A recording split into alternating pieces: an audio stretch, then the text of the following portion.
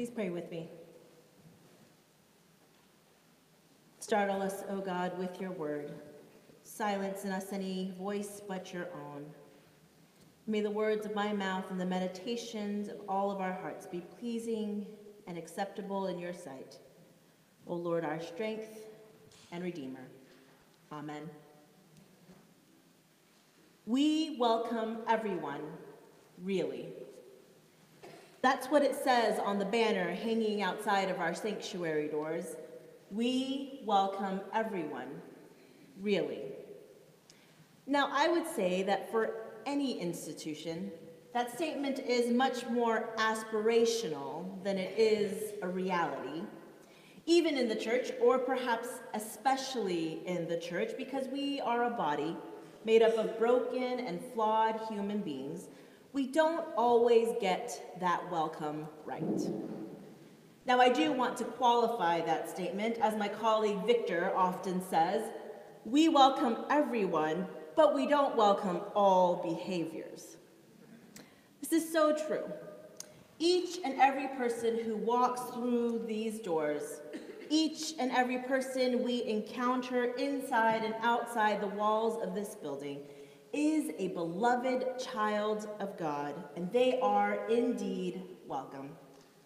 But not all actions or behaviors are of God, and any act that is violent or harmful or dehumanizing of others is, quite honestly, not welcome. Robert Jones Jr., a student of James Baldwin, says it like this We can disagree and still love each other, unless your disagreement is rooted in my oppression and denial of my humanity and right to exist. In other words, yes, all are welcome. But if welcoming you is dependent on the exclusion and unwelcome of others, that is just not going to work here. Radical welcome, like the kind Jesus practiced, freed people from the burdens and oppressions of their current society. It received all people as fully human, created in the image of God, as beloved and precious children of the Creator. And to Jesus, all were welcome, really. It wasn't aspirational, it was lived and embodied, and sometimes even learned. But despite Jesus' radical welcome, not all chose or could bring themselves to stay and receive that welcome. In fact, next week we'll hear about a young man who was welcomed and loved and invited by Jesus. But rather than being able to embrace that welcome, he chose to walk away, for he could not accept the kind of change and transformation that welcome would require. Scripture says he was shocked and went away grieving. Many others, however, especially those who were on the margins, did receive that welcome and were relieved and granted new life through Jesus. He sat with sinners and prostitutes, tax collectors, and those in need of healing. He broke bread with those deemed unclean and unworthy. He was called a glutton and a drunkard, a friend of tax collectors and sinners by elite religious leaders. That's the Jesus we say we follow today. Jesus chose welcome, such a radical welcome of all people that it often offended those who held power and privilege even when they were welcomed and loved just as much as everyone else. As the saying goes, when we're accustomed to privilege, equality feels like oppression. Let me say that again. When we're accustomed to privilege, equality can feel like oppression. To be lumped together and treated as equals with those whom Jesus associated with was, to some, offensive and unacceptable. So some who approached Jesus, like the rich young man that we will hear about next week, could not stand to give up the power and the privilege that the world offered him to enter into Christ's welcome. But none of us here have chosen that path. We're here because something about Jesus' welcome has compelled us and convicted us. We have not walked away. Instead, we have chosen to receive that welcome. And as such, no longer will we be bound by the ways of this world. No longer will we be wooed by the halls of power and the pool of privilege. While some of our elected leaders and perhaps even some of our appointed judges may not be able to shed such temptations, we have chosen to receive God's welcome, and we have not walked away. And that's why I am convinced that this here, when we welcome others through Christ, is what will change the world. I believe that. Even in times that seem so wrought with injustice, I believe that love and welcome will be what changes this world. You see, this radical Jesus even welcomed children and they never rejected that welcome. Children in Jesus' day had little to no agency. They were basically the property of the patriarch of the family. And without that adult male to advocate on their behalf, they were voiceless, powerless, and very, very vulnerable. When scripture tells us that we must be like a child to enter God's kingdom, it doesn't simply mean that we must have some kind of childlike quality or characteristics such as innocence or purity or receptiveness that gets us in. For a long time, that is how today's passage was interpreted by most biblical scholars, with that focus on the characteristics of children. But in the last 30 years or so, many commentators have changed the interpretive tune about that phrase, as a little child, to focus not on a child's traits, but on their status in society. Ched Myers argues the child represents another category of those marginalized and dominated, like women, the poor, and the unclean. The child was, in fact, the least in familial and societal structures. Jesus is thus inviting the disciples into a new reality of community and family where the least becomes the model for the disciples. And this means the disciple takes up the powerlessness and the vulnerability of a child. So not only did Jesus welcome children, but Jesus expected us to become like a child, to give up power and to live in solidarity with the least of these. Here we have this itinerant homeless rabbi who is gaining in popularity and fame by practicing an upside down, backwards understanding of the world. People are hearing about his radical welcome, so women, children, and utter outcasts of society come to him, hoping to receive a blessing, a miracle, daring to dream of a new life. But Jesus' network of male disciples just don't seem to get it, do they? They are constantly guarding the gate, fencing the table, telling others, Go away, hush, you are not welcome here, trying to maintain their good old boys club. But Jesus says again and again to the contrary Yes, you are. You are welcome here. There is a place at the table for you. Friends, when we proclaim that we welcome everyone, really, it's aspirational. We're really trying to live into that. But there are many human barriers that prevent us from embodying that fully. Sometimes we catch ourselves acting a little bit more like those disciples than Jesus.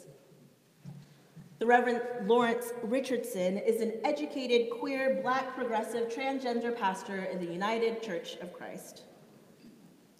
And when he sees churches with banners like ours declaring that all are welcome, he wonders Would I, with all that I bring, be welcomed in that place? And he challenges the church to really think about what we are saying with such signage. He asks, not only are we prepared for the beautiful tapestry of human diversity that might show up, but how are we preparing ourselves to receive all God's people? How might we extend welcome to those who are differing in physical and mental abilities, to younger generations or families with children, to people or different, of different racial and ethnic groups, to those in the LGBTQI community, to seniors facing uncertainty in aging, to the survivors of domestic violence or sexual assault, and to the fullness of each and every person beyond any label or demographic. How might we extend welcome? Richardson writes Doing life with people who are different from us or who have had experiences different from our own takes courage. It requires us to take into account the social dynamics that inform what each person brings to the table of our common life together.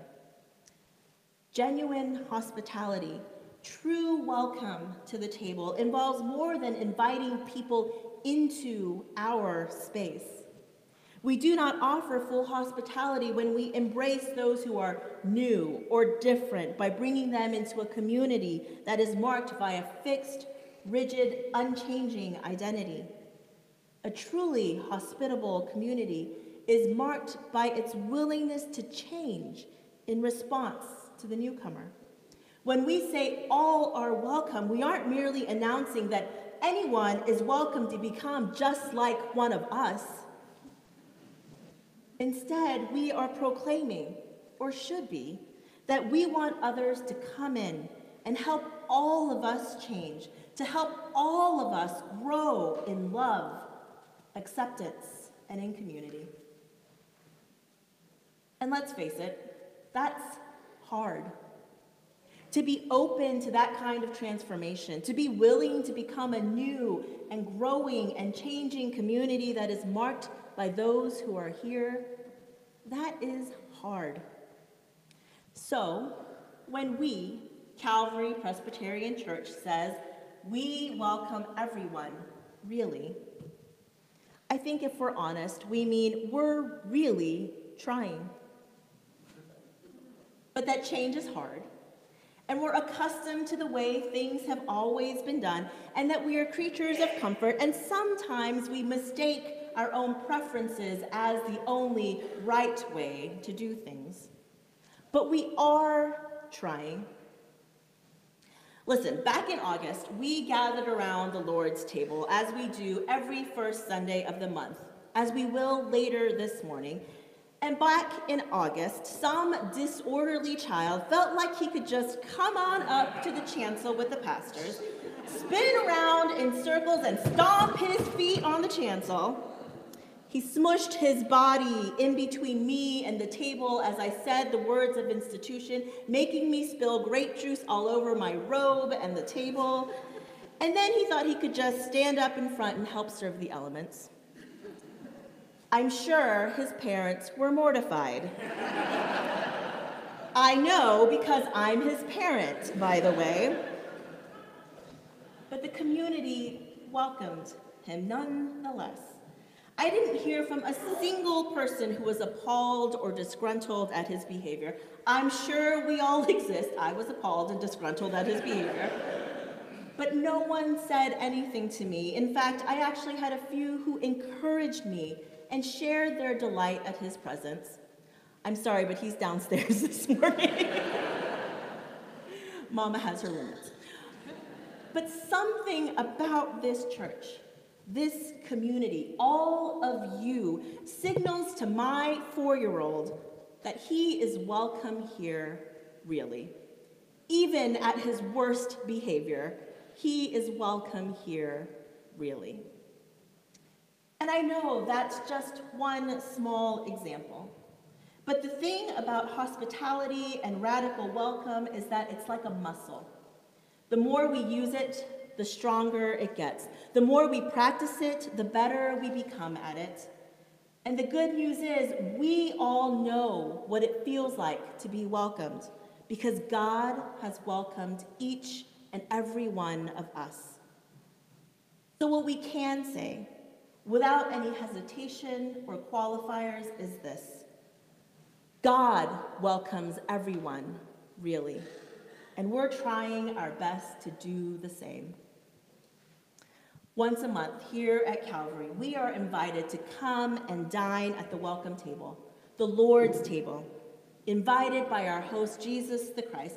Sometimes children and youth help welcome us to this table, either by design or because their parents can't seem to stop them. This ritual, this sacrament in which we partake, it may seem like we're just getting in line to eat a piece of bread soggy with grape juice. But I believe something happens in this moment, something life transforming, something earth shattering, something that aligns our world to be a little bit more like the kingdom of God God intended. There is an inbreaking of the radical hospitality of Jesus Christ, and we are united with believers in every time and place, with those who've gone before us. Imagine all those we've lost in the past couple of years, those who've gone before us, dine with us at this table. Those on the other side of the globe who began celebrating World Communion Sunday yesterday in Asia, Africa, Europe, they dine with us at this table. And we are united with one another, with those sitting in our pews in this sanctuary, some of whom we know nothing about, and some of whom we know way too much about. and somehow, through Christ's welcome, we become one, and we are changed, made a little bit different than when we came, because we are fed and given a place at this table. Sure, it's symbolic. That's what the reformers Zwingli argued. But it's more than that. I agree with Calvin in that sense. It's transformative because Christ is here. Not necessarily in the elements of bread and wine, as our Catholic sisters and brothers believe, but Christ is presiding at the table in the act of communing with one another, in the breaking of bread with sisters and brothers, that rabble rousing Jesus is here with us and we will never be the same because of it. As we prepare our hearts to receive this meal that will not leave us the same as when we came, I invite you in singing a statement of faith with me, one that I believe through and through, so much so that I will even sing in front of you. The words are as such God welcomes all, strangers and friends. God's love is strong, and it never ends. Sing with me if you know the song. If you don't know the song, sing even louder. Why not? God welcomes all, strangers and friends. God's love is strong and.